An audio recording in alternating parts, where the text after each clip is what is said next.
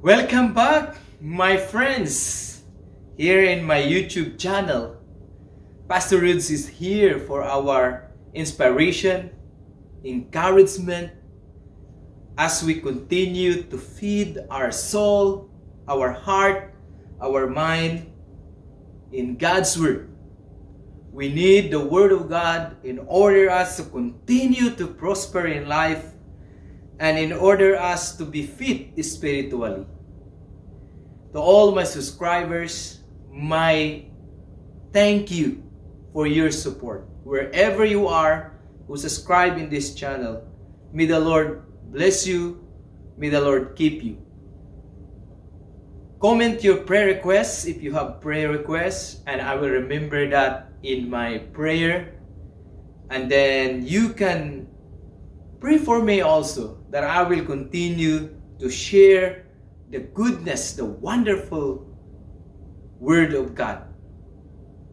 The world need the Lord, and the world desperately need from the goodness, from the powerful words of God. And the purpose of this channel, again, is to inspire you to be connected with the Lord, to be closer to God, and to give your life to our Lord Jesus Christ, our Savior, and let the Holy Spirit work in your heart to bless your life, to bless your businesses, to bless your job, to bless your relationship, and all your troubles will get answer in God alone. We need to connect to our Heavenly Father, our God who created us. We need to hold His promises. Welcome, and I am glad that you're watching wherever you can watch. I hope you have your smartphone and download Gateway Bible for your app, or if you have your big Bible like mine, that's good. That's good. That's awesome you can use now in your uh, own language. But now I'm sharing for the Word of God in our English version. So we are here in English version. Before we start for our sharing, let us pray. Our God who give us life, you created us according to your image. You loves us, you form us. And we ask you, Lord, to forgive us for our sins from all our dirtiness. Cleanse our mind and our soul and spirit. Let our heart be true to you. And remind us, O God, with your kindness when you gave your life on the cross. Jesus, our God, you come to save us, to give us a future with hope. Cleanse us, O Lord, with the power of our Holy Spirit. Speak through me. Speak to your people, O God, and let your word be their guide wherever they are. Either they are in their car, in their room, if they will watch in television, or they will watch in their tablet, smartphone, or wherever they are, they can watch in their laptop. Lord, may their time can find comfort in your holy word. In their desperate time, he can find healing. I declare it in the name of our Lord Jesus Christ. Amen. My friends, this is uh, the topic that I would like to share with you. This is a wonderful word that we can inspire our soul. We can encourage. We can hold this word from the Lord. We need this positive word. You know, when you speak bad words, negative words, it will affect your heart it will affect your mind. So, we need the positive word, a powerful word, because this word is from God. This is very powerful. So, we know we put all those negative uh, words in our heart. It can destroy, it can affect our psyche and our emotion. But now, here, I want you to listen and to, to be attentive to the Word of God so that you will be encouraged in these very powerful words. Let's talk about our theme this time. I can trust God's plan. Why I can trust God's plan? Do you have your own plan? Do you have your own uh, goal in life? Sometimes, you know, uh, I remember when I was uh, seven years old, someone asked me, oh, my teacher, my teacher, she asked me like this, Rodrigo, what do you want to be when you are uh, in college? What do you want to be? I said, Mom, I want to be a soldier because I want to protect our our country, our our our land from the enemies. And I want to bring peace in our land. I said, I'm very proud of that. And one of my classmates, I want to be a doctor. I want to be an astronaut. You know, we have a lot of dreams in our life. We have a lot of plan. And then, that's my long time dream. But God's plan is higher than our plan. And the thing, I become a soldier of Christ and become a preacher. So amazing. That's why I'm here now. I'm here preaching in my YouTube channel and moving on forward to look forward to serve in in the church, in, in the ministry. I want to be back in that ministry. That's my call is. Now, why I can trust God's plan in my life? Why I can I, I can trust? Number one, what, what's number one is? Because God never changes. Where is that? Where is that? In Hebrews, I want you to look at your Bible. In Hebrews 13.8.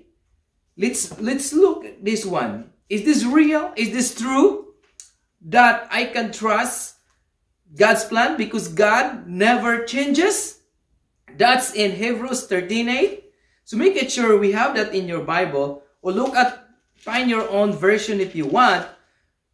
Hebrews 13:8. So I would I would like to uh, to read it with you, my friend, my brothers, my sisters, here in the Word of God. It says here, Jesus Christ is that the same yesterday, today, and forever. Wow! Amazing. Why I can trust or why we can trust the plan of God? Because Jesus promised us that He will be with us even to the end of the world. That He will never leave us nor forsake us. Wow. And Jesus said, Jesus is the same.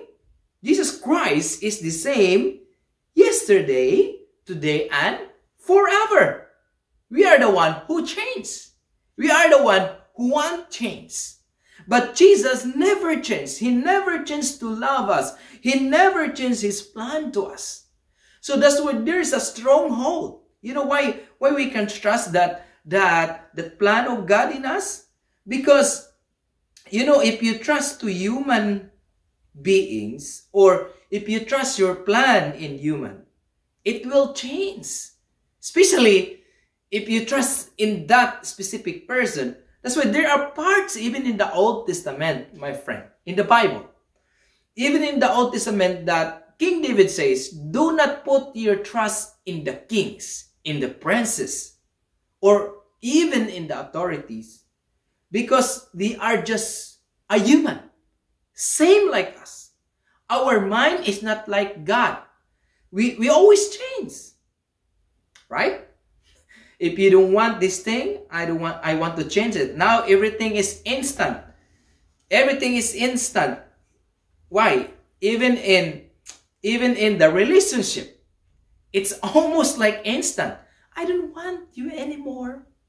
Oh, I, I, I like that that guy than you. I like that the one than you. You know, we want all new adventure. But in those adventures, it's fine to find adventures or opportunities in life. But the thing is, your plan, your trust is in the Lord. Because, because the plan of, of God is greater than us. Remember Jeremiah? It says in the word of Jeremiah, it says, God says, I have a plan for you not to harm you, but to prosper you and to give you a future with hope. And then there's part in the proverb it says, Trust in the Lord with all your heart and lean on lean not in your own understanding. Because we have that big assurance in God. Powerful assurance in God. Jesus is same. Jesus Christ is same yesterday and today and forever. Wow! He never changes. He said he will be with us even to the end of the world. And Jesus said, I am the way, the truth, and the life. And no one comes to the Father except through me. No one comes to heavenly kingdom, to the heavenly kingdom of God without believing our Lord Jesus Christ. We cannot just jump. We need to pass and let the Holy Spirit work in your soul and spirit. Okay, number two. Why I can trust God in my plan. Number two, because God is all powerful. Wow, all powerful. That's it. That's that's it says omnipotent, omnipotent of God. There is no powerful than God. We can read that in the book of Jeremiah. So let's go uh, in the Old Testament here in the major major prophet Jeremiah. Uh, uh, let's open our Bible in the book of Jeremiah. So Jeremiah is the weeping, we call it the weeping prophet. Why? Because Jeremiah always cry for the need of the people and to all, to all, uh, all people of the Israel. So here we can we can see the the good thing, the good thing of our Lord here in Jeremiah. So my friend, God is all powerful as Jeremiah 32 17 says, there is no other than powerful than God. When God created the heavens and the earth, He just said, let there be light, and the light came. Let there be all the inhabitant. That's powerful word of God. No one can do that. We as human, we're getting brighter, smarter. You know, uh, Elon Musk, the Tesla producer. So he said, someday we can have the humanoid and they are creating creating those high-tech cars now we are running electric car and maybe we can have a flying car and maybe someday the humanoid what they call human and robots will connect together and it's sad to say that some people now marrying doll or robots wow so high tech so high tech. wow, super high tech. But when you create something, look like human is so powerful. When when human reach the moon, the Mars, say, oh, I'm powerful. But still, our power is not enough to the power of God. Remember when the Israelite people cruised in the Red Sea, when, when God says to Moses, Moses, put your rod. And then when Moses up his rod, you can see that in the Old Testament. In the time of Exodus of the Israelite people from the bondage of uh, what they call this slavery from Egypt. You know, when, when Moses raised the rod, you see the Red Sea was open. And that's the powerful miracle. And you can see how powerful Jesus is. when Lazarus was dead for four days. He's already he's already in a bad smell.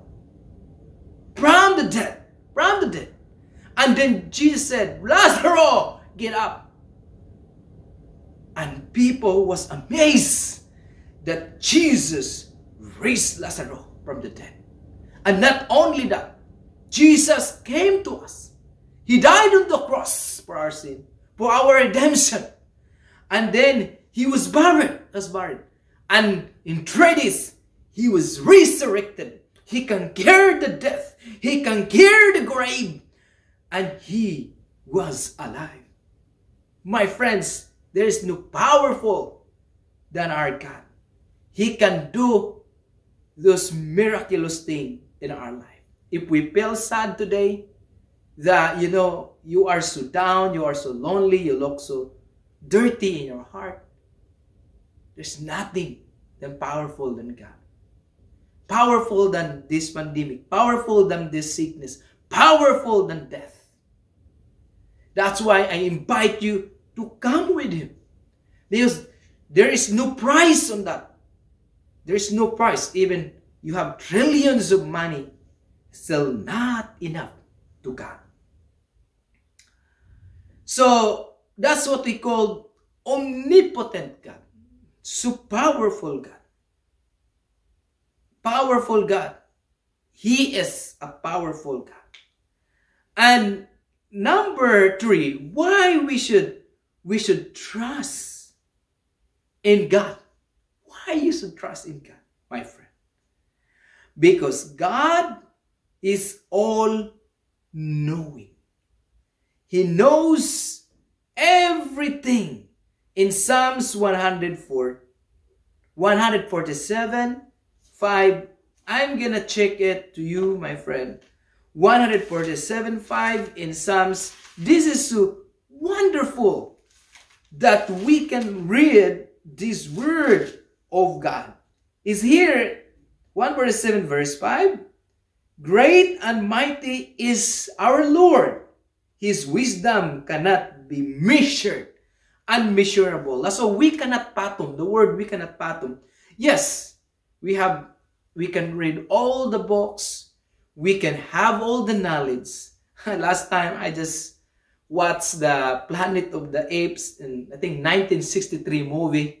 It was like, oh my God, you're watching this, this very old movie, but you know, the message is that we as human we become we are animals and and the apes they are like the regular human you know and they are they have their knowledge.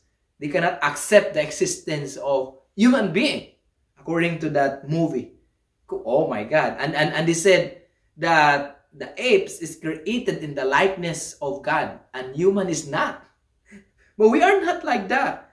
The god is so all-knowing all-powerful so, omnipotent, God, all powerful, all knowing. So, omnip omnipotences, senses. So, God knows everything. Here you can see God is all knowing. His wisdom, no one can compare.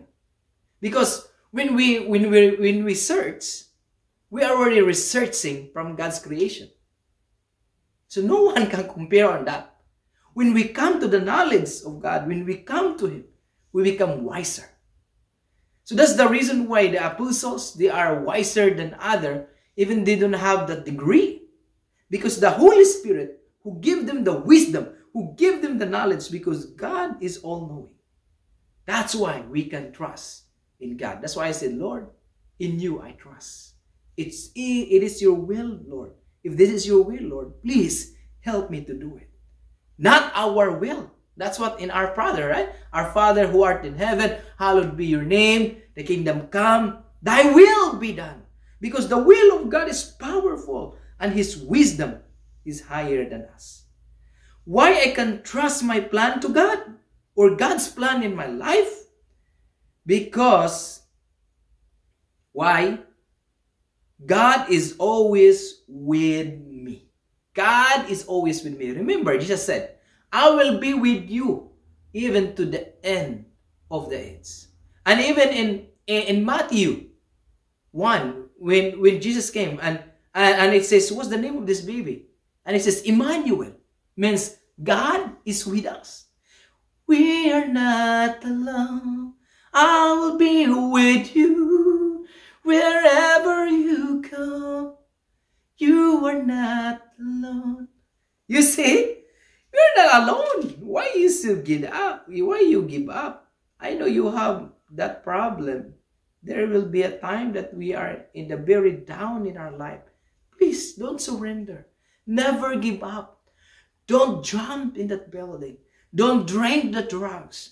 Don't, don't destroy your life in alcohol. Don't destroy your life.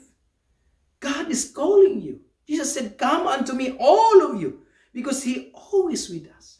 And that's the story of footprints in the sun, right? And you see the story of the footprint in the sun, footprints in the sun, that, that we are walking with God.